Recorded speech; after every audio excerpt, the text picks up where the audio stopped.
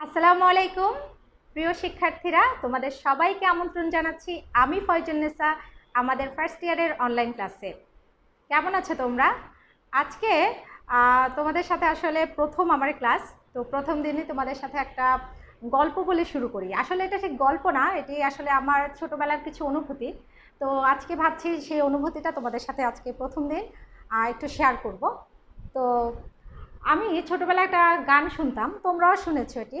ধনধান্যে পুষ্পে ভরা আমাদেরই বসুন্ধরা, তাহার মাঝে আছে দেশের সকল দেশের সেরা। হুম, এমন দেশটি কোথাও খুঁজে পাবে না কো তুমি? সকল দেশের রানী, সে যে আমার জন্মভূমি। তো এই গানটি যখন শুনতাম, তখন মনে মনে ভাবতাম যে আসলে আমার দেশটা কি সকল দেশের সেরা? পৃথিবীর কোনো দেশ কি আমার দেশের মতো এত সুন্দর না? এরকম মনে মনে ছোটবেলা একটা উপলব্ধি ছিল বা একটা চিন্তা হতো যে আসলে আমার দেশটা আসলেই কি সুন্দর কিনা। তো ধীরে ধীরে যখন একটু বড় হলাম, তখন যখন বুঝতে শিখলাম বা একটু পড়াশোনা করলাম, বিভিন্ন জার্নাল বা পত্রিকা, ভ্রমণ কাহিনী, এগুলো পড়ে দেখলাম আসলে আমার দেশের চেয়েও অনেক দেশ, পৃথিবীর অনেক দেশ অনেকাংশে সেরা। অনেক সুন্দর তাদের সরকার ব্যবস্থা, তাদের সভ্যতা, তাদের সংস্কৃতি সব কিছু আমার দেশের চেয়ে আসলে সেরা। এবং সৌন্দর্যের দিক থেকেও আসলে পৃথিবীর অন্যান্য অনেক দেশের তুলনায় অনেক দেশ আমার দেশের চেয়ে অনেক সুন্দর। তারপরে যখন বিশ্ববিদ্যালয়ে পড়তাম, তখন মনে মনে একটু আত্মগ্লানিতে ভুগতাম। কেন এই দরিদ্র দেশে, এই দুর্দশাগ্রস্ত দেশে আমি জন্ম নিলাম? তো এ দেশটা ছেড়ে ইউরোপের কোনো একটা দেশে চলেও যেতে চাই, চেয়েছিলাম। তো যাই হোক, যেতে পারিনি। চাকরি জীবনে প্রবেশ করলাম। একটু বয়স হলো, বয়স বাড়ার সঙ্গে সঙ্গে আমার একটি অনুভূতি হলো, সেই অনুভূতিটা বা উপলব্ধি, সেই উপলব্ধিটা হলো এরকম যে ধরো ঐশ্বরিয়া বা ধরো ক্যাটরিনা কাইফ, যত সুন্দরী হোক, সে কি আমার মায়ের মতো? ঐশ্বরিয়ার সৌন্দর্য বা ক্যাটরিনা কাইফের সৌন্দর্য আমার আমাকে একটু মোহগ্রস্ত করে তোলে বা আমাকে প্রলুব্ধ করে। কিন্তু আমার হৃদয়ে যে প্রশান্তি, সেটি আসলে কি ঐশ্বরিয়া কখনো দিতে পারে? আমার মায়ের ছেঁড়া আঁচলের হলুদের গন্ধ আমার হৃদয়ে যে প্রশান্তি এনে দিতে পারে, সেটি পৃথিবীর কোনো কোনো সৌন্দর্য সেই প্রশান্তি এনে দিতে পারে না। আসলে এত কথা বলার অর্থ হচ্ছে, দেশ, আমাদের এই দেশটা তো মাই, তাই না? এই দেশের অনেক কিছু নেই, এ দেশে দুর্দশাগ্রস্ত, কিন্তু তারপরেও এদেশের জল হাওয়ায় আমি বড় হয়েছি এদেশের মাটিতে আমি বড় হয়েছি। সুতরাং এদেশের সাথে আমার অনেক অনুভূতি, অনেক কিছু জড়িয়ে আছে। সুতরাং আমার দেশ গরিব হোক দুঃখী হোক, দুর্দশাগ্রস্ত হোক, সে তো আমারই দেশ। আমি তো আমার দেশকে আমার মায়ের মতোই ভালোবাসি, কারণ আমার এ দেশ আমার মায়ের মতো।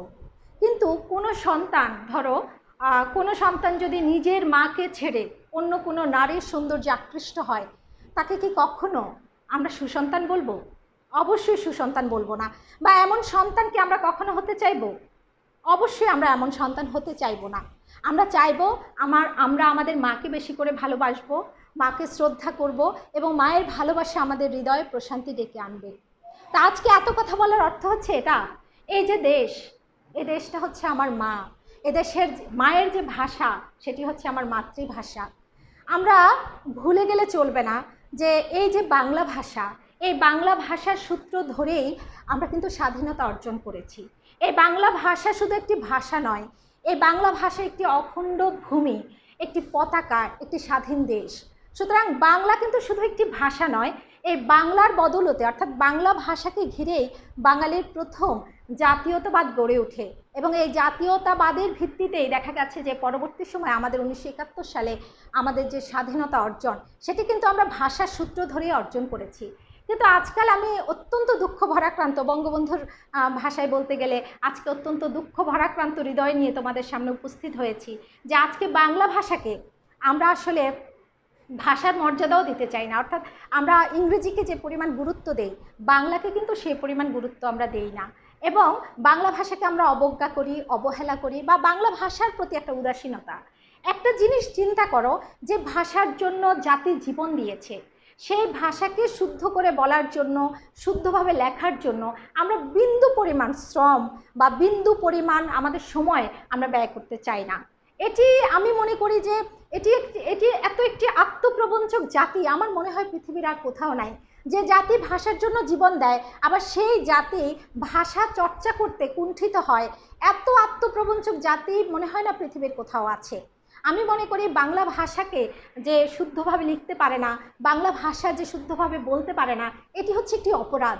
আমরা সেই অপরাধে অপরাধী, ওই অপরাধী গানের মতোই। তো এই জন্য আজকে প্রথম ক্লাসেই আসলে আমি এসেছি। আমরা প্রায়শ কিছু ভুল করে ফেলি। এজন্য আজকে আমি তোমাদের সাথে আলোচনা করতে এসেছি বাংলা ভাষার অপপ্রয়োগ ও শুদ্ধ প্রয়োগ। আমরা মাঝে মাঝে নিজেরা খুব কনফিউজড হয়ে যাই, আসলে এটি কি রস্বীকার দিয়ে হবে না দীর্ঘইকার দিয়ে হবে? এটি কি হবে? আসলে শব্দটা কি হচ্ছে?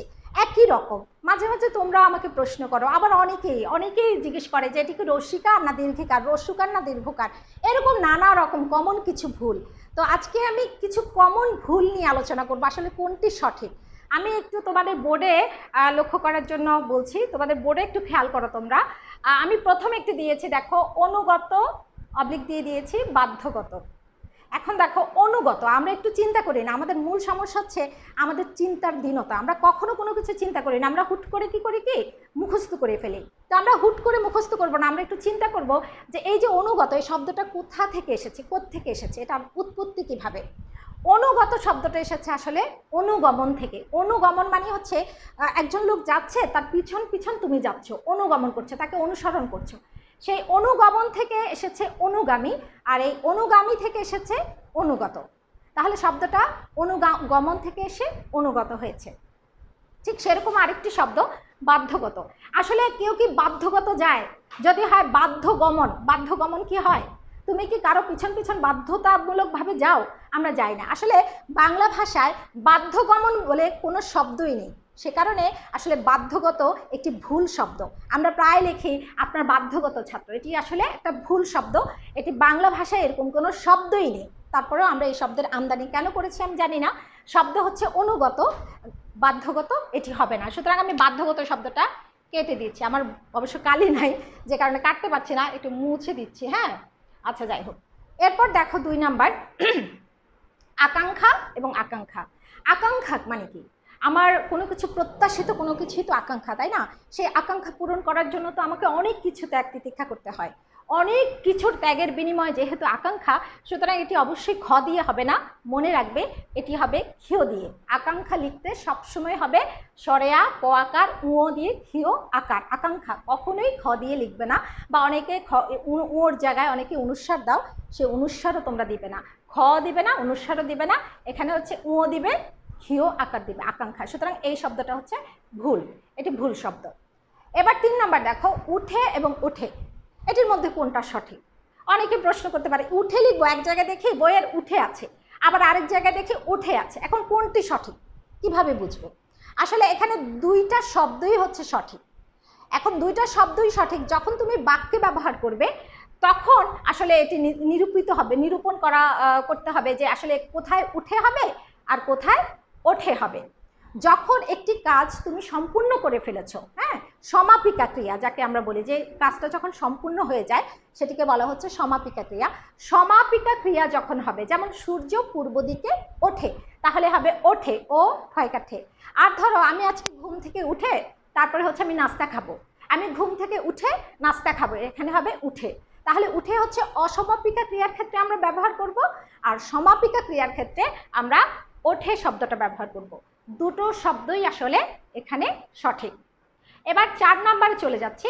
আমি এই শব্দটা দেওয়ার অর্থ হচ্ছে, কিছুদিন আগে আমি বিটিভিতে দেখেছি যে প্রধানমন্ত্রী জাতির উদ্দেশ্যে ভাষণ দিচ্ছে, সেখানে জফলা দেওয়া হয়নি।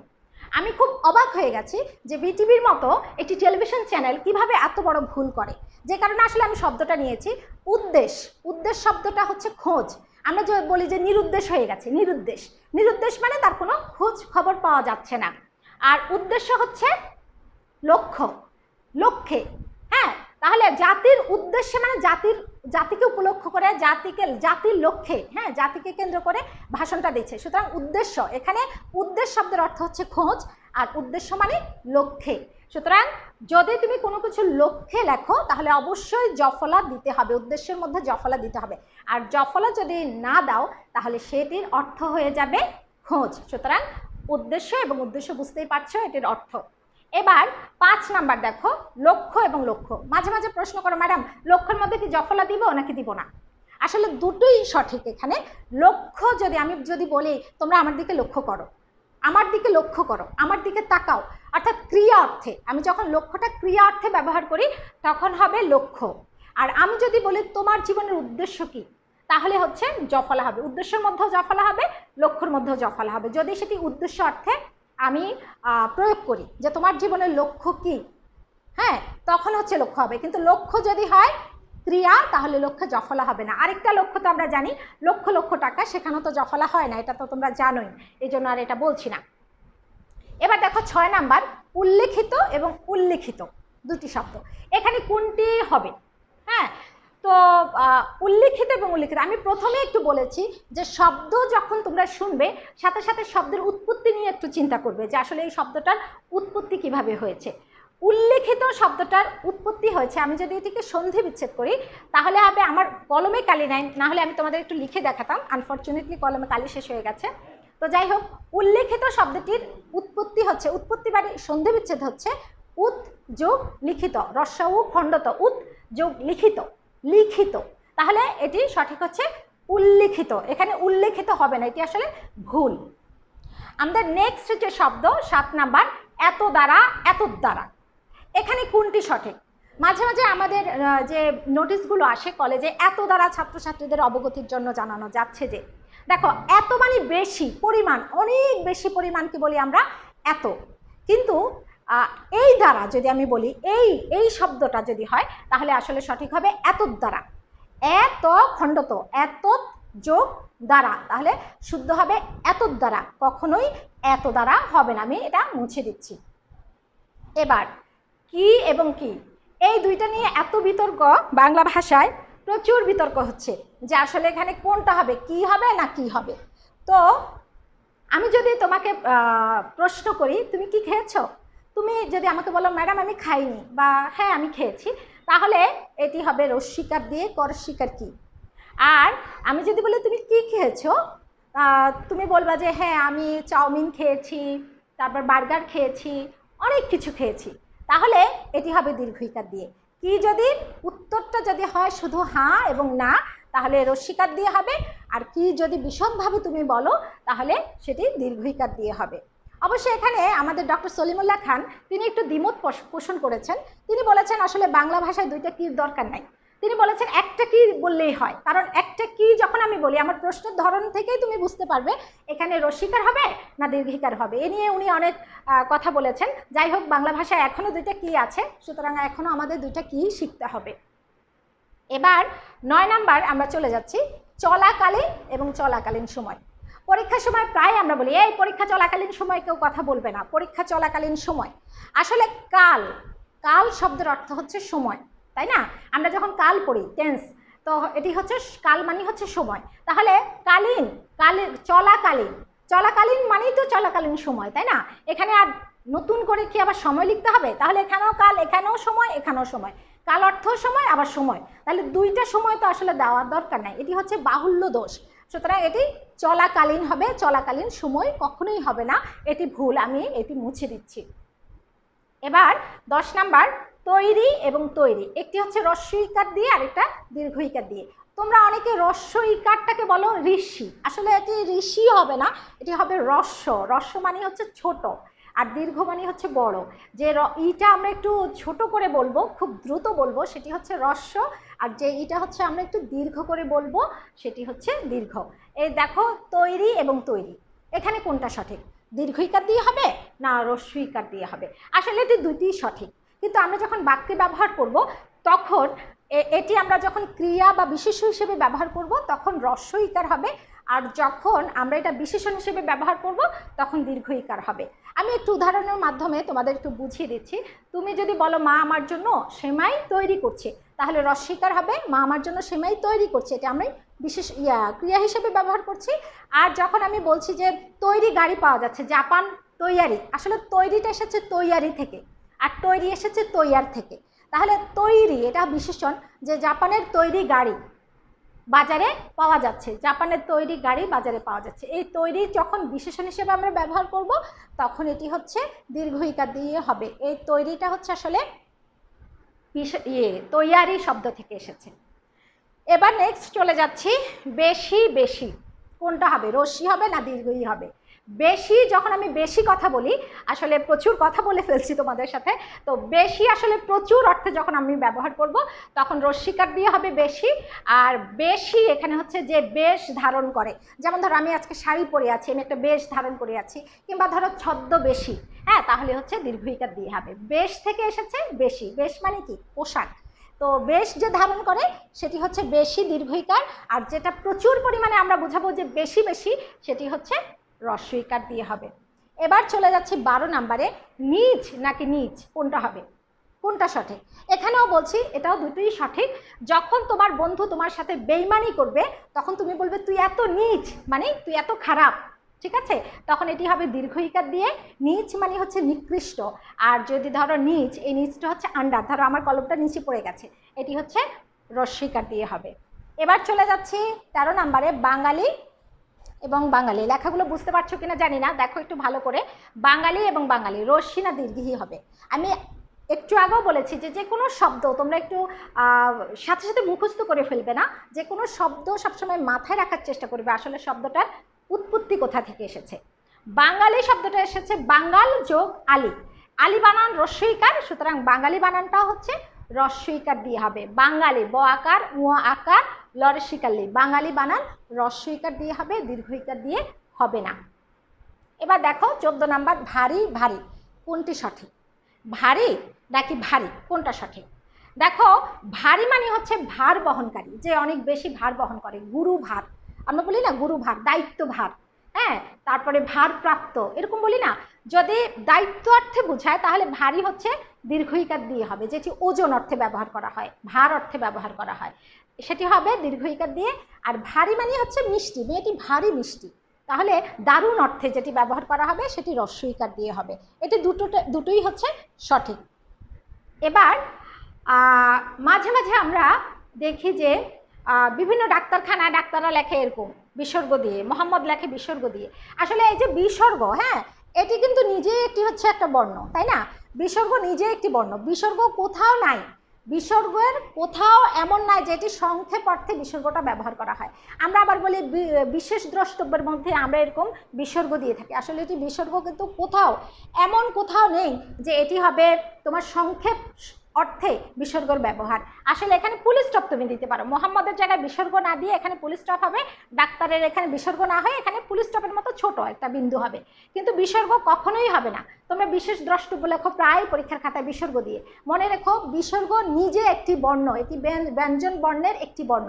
এটাই কখনোই সংক্ষেপ করার কোনো বর্ণ না। একটি বর্ণকে সংক্ষেপিত করার কোনো বর্ণ কিন্তু বিসর্গ না। সুতরাং নামের সংক্ষেপ করার জন্য বিসর্গ কখনোই ব্যবহার হবে না। এখানে ছোট্ট একটি পুলিশ স্টপের মতো হবে। তুমি যদি সংক্ষেপে লিখতে চাও। এবার চলে যাচ্ছি ষোলো নাম্বার। এটি কিন্তু আমাদের পরীক্ষার মধ্যেও আমরা দেখি যে অমুকের সংজ্ঞা লেখো, তমুকের সংজ্ঞা লেখো। সংজ্ঞা মানে কি? আসলে সংজ্ঞা শব্দের অর্থ হচ্ছে নাম। এটির নাম, মাঝে মাঝে বলে না, সংজ্ঞা হারিয়ে লুটিয়ে পড়ল। মানে সে তার নাম হারিয়ে গেছে নামটাই ভুলে গেছে, অর্থাৎ সে অজ্ঞান হয়ে গেছে। এই জন্য বলছে যে, সংজ্ঞা হারিয়ে নিচে পড়ে গেল।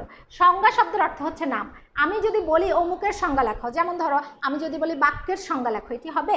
আমি তো আসলে তোমার নাম জানতে চাচ্ছি না বাক্যের। আমি জানতে চাচ্ছি সংজ্ঞার্থ, অর্থাৎ এই নামের অর্থটা কি? সুতরাং সংজ্ঞা কখনোই হবে না, হবে সংজ্ঞার্থ। কাকে বলে অর্থে, কখনোই সংজ্ঞা হবে না। হবে সংজ্ঞার্থ। এবার চলে যাচ্ছি সতেরো নাম্বার। এখানে আছে সনদ এবং আছে সনদপত্র। আসলে সনদ নিজেই একটা পত্র, তাই না? এটি একটি সার্টিফিকেট বা প্রত্যয়ন পত্র তো সার্টিফিকেটটা নিজেই একটি পত্র। সুতরাং এটির সাথে আলাদা করে পত্র যোগ করার দরকার নেই। এটি শুধুই হবে সনদ। এটির সাথে আলাদা করে পত্র যোগ করার কোনো প্রয়োজন নেই। এবার দেখো সুধি আর সুধি। কোনটি সঠিক? আমরা প্রায় আমাদের ইনভাইটেশন যে কার্ডগুলো আছে, ওখানে সুধি এভাবে লেখা থাকে, এইভাবে লেখা থাকে। আসলে আমরা একটু খেয়াল করি, সুধি যদি দীর্ঘইকার দিয়ে হয়, তাহলে সেই সুধির অর্থ হচ্ছে মান্যবর, গণ্যমান্য ব্যক্তি, বিশিষ্ট ব্যক্তিকে আমরা বলি সুধি দীর্ঘইকার দিয়ে। আর এই সুধির অর্থ হচ্ছে চেতনা, হুঁশ। এখন আমি যদি কাউকে বলি সুধি মণ্ডলী, তার মানে কি, সে চেতনা, হুঁশ, এরকম কিছু? নাকি সে বিশিষ্ট ব্যক্তি, মান্য, মান্যগণ্য ব্যক্তি, কোনটা? অবশ্যই দীর্ঘইকার দিয়ে হবে। যদি সুধি আমি লিখি, সুধি দর্শক মণ্ডলী মানে বিশিষ্ট ব্যক্তি, মান্যবর, গণ্যমান্য ব্যক্তি, তাহলে দীর্ঘইকার দিয়ে হবে। আর এই সুধি শব্দের অর্থ হচ্ছে চেতনা, সুতরাং এটি হবে না। এবার উনিশ নাম্বার, অনেকে হয়তো এটি জানো, তারপরেও আমি বলছি, স্বাক্ষর আর স্বাক্ষর। এক জায়গায় হচ্ছে বফলা আছে, আরেক জায়গায় বফলা নাই। তাহলে কোনটি সঠিক হবে স্বাক্ষরের মধ্যে? দেখো, স্বাক্ষর যদি অক্ষর জ্ঞান সম্পূর্ণ হয়, তাহলে এখানে স্বাক্ষর হবে, বফলা হবে না, অক্ষর জ্ঞান সম্পূর্ণ। যদি আমি বলি যে লোকটি অক্ষর জ্ঞান সম্পূর্ণ, তার মানে সাক্ষরতা স্বাক্ষর, সেখানে কখনোই বফলা হবে না। আর যদি তোমার সাইন অর্থে হয় স অক্ষর অর্থাৎ তোমার নিজের নাম, তাহলে সেখানে বফলা হবে। অর্থাৎ তুমি যখন সাইন করবে, সেটি হচ্ছে স্বাক্ষর, আর যখন তোমার অক্ষর জ্ঞান সম্পূর্ণ তুমি, সেটি হচ্ছে স্বাক্ষর। দুটি সঠিক, কিন্তু বাক্যে যখন ব্যবহার করবে, একটু চিন্তা ভাবনা করে ব্যাখ্যা মানে ব্যবহার করবে, কোথায় কোনটি হবে? এবার চলে যাচ্ছি আমাদের লাস্ট জনাব এবং জনাবা। এটি কিন্তু খুবই, বা কি বলব, এটি নিয়ে আমার নিজেরও ব্যক্তি জীবনে বহুত অভিজ্ঞতা হয়েছে। আমাকে অনেকেই লিখেছে, জনাবা, দেখে তো আমার খুব খুব মেজাজ খারাপ হয়ে গেছে। কারণ জনাবা শব্দের অর্থ আমি জানি। জনাব, অবশ্য সার অর্থে ব্যবহার করা হয়। আর জনাবা শব্দের অর্থ আসলে খুব বেশি ভালো না। আমি কীভাবে তোমাদের খুব খুব ভদ্র ভাষায় বলতে পারি? জনাবা মানে হচ্ছে ঋতুমতী নারী, অর্থাৎ যে নারী একটু প্রাপ্তবয়স্ক হ্যাঁ যৌবনবতী নারীকে বলা হয় জনাবা। তো কেউ যদি কোনো নারীকে বলে, আপনি যৌবনবতী নারী সে নারী নিশ্চয়ই শুনতে ভালো লাগবে না, তাই না? সুতরাং কখনোই কাউকে জনাবা লিখবে না, অবশ্যই লিখবে জনাব। ঠিক আছে? তা আজকে এই পর্যন্ত। আগামী ক্লাসে তোমরা ভালো থেকো, সুস্থ থেকো। তোমাদের সকলের সুস্বাস্থ্য এবং দীর্ঘায়ু কামনা করছি। আজকে এখানেই বিদায়। ধন্যবাদ।